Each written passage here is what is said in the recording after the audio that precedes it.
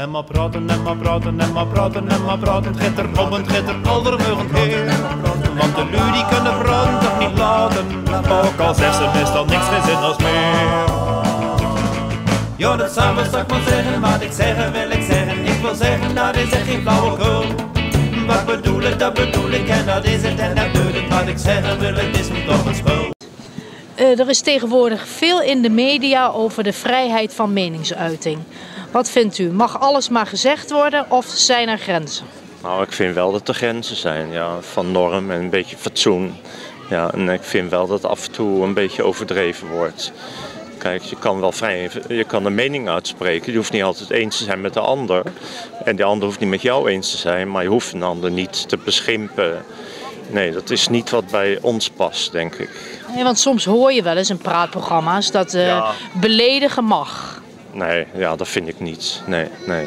Je moet geen mensen kwetsen onnodig. dus uh, het schieten op de persoon eh, en op de pianist is va te vaak, vind ik. Ja. En dan is het beneden alle pijl. Ga op normaal niveau met elkaar om, dan is dat toch allemaal niet zo erg. Daar, een hele groepen in Nederland, kijk maar wat hier op de markt loopt, die, die zijn verontwaardigd. Ja, wij moeten wel met elkaar verder. Kan niet anders. Nee. Ik vind in principe mag alles wel gezegd worden.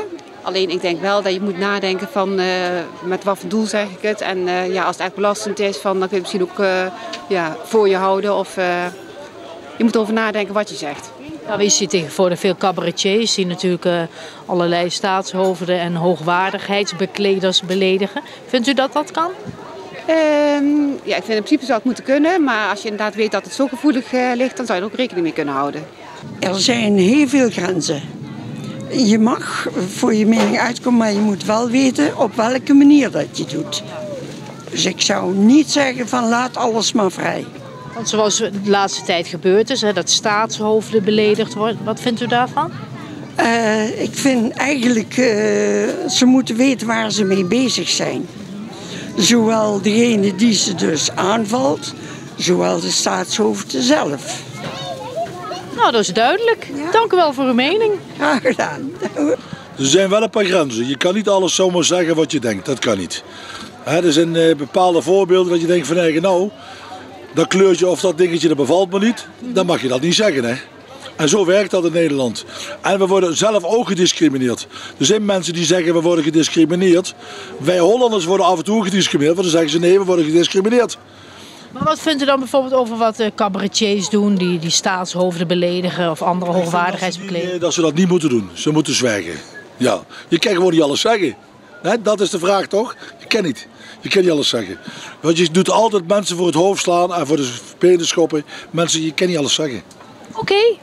Ik vind in principe dat je alles wel moet kunnen zeggen. Maar ik zou het wel fijn vinden als mensen iets beter nadenken voordat ze iets zeggen. Het, heeft, het moet wel een doel hebben. Als je, als je iets zegt om mensen te krenken, ja, zonder dat het enige toegevoegde waarde heeft, dan hoeft het van mij niet. Dan nou maar gewoon je mond dicht. Ja, maar je ziet nou bijvoorbeeld dat die Turkse president uh, die belediging naar zijn hoofd geslingerd heeft gekregen. Wat vindt u daarvan? Nou, het heeft geen doel. Weet je, je kunt zoiets wel roepen, maar wat, wat wil je ermee bereiken? Als het geen doel heeft, dan hou je mond maar dicht. Nou, wat, wat ik vind, ja, er kan, op zich kan er wel veel gezegd worden, maar wel grenzen. Je moet niet echt uh, heel kwetsend uh, over mensen gaan. Maar, uh, maar ja, je mag, wel, ja, je mag wel aangeven wat je ervan vindt.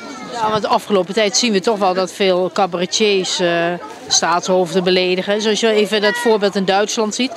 Vindt u iets wat, dat dat kan? Um, ja, dan wordt het wel weer gezegd met een grap. Ja, vind ik moeilijk. Ja. Ik, durf dan, ik weet niet zo goed zo. Je overvalt me er een beetje mee, ook met de vraag. Dus, uh...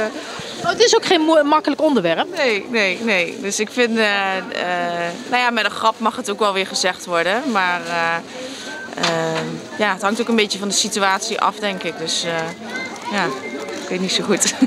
Oké, nou bedankt voor je mening. Nog een gezellige dag. Helemaal goed, dankjewel. Ik vind dat er grenzen zijn. Uh, we kunnen blijven roepen en dat het onder meningsuiting valt, maar ik denk dat je er een heleboel mensen mee kwetst. En um, een heleboel ook over één kam geschoren wordt. En dat vind ik gewoon te ver gaan. Ja, maar je ziet bijvoorbeeld dat ook staatshoofden beledigd worden. Daar krijg je nu ook een hoop problemen van. Kan dat? Kan dat niet? Um, Kijk, dat je daar een mening over hebt vind ik prima. Ik vind gewoon dat je iemand ook ja, aanvalt op de persoon zijnde en niet meer zozeer op wat hij doet. Dus het wordt ook heel veel persoonlijk gemaakt. En uh, ik vind het drama eromheen erg overtrokken. Maar ik vind wel dat daar een punt is dat daar wel aan banden moet gelegd worden. Dat snap ik wel. Oké, hartelijk bedankt voor uw mening. Geen probleem, dankjewel. Maar praten en maar praten en maar praten en maar praten. Het gitter op en het gitter aldermeugend heer. Want de lui die kunnen praten toch niet laten. Ook al zegt ze meestal niks geen zin als meer. Ja, dat samen, zal ik maar zeggen.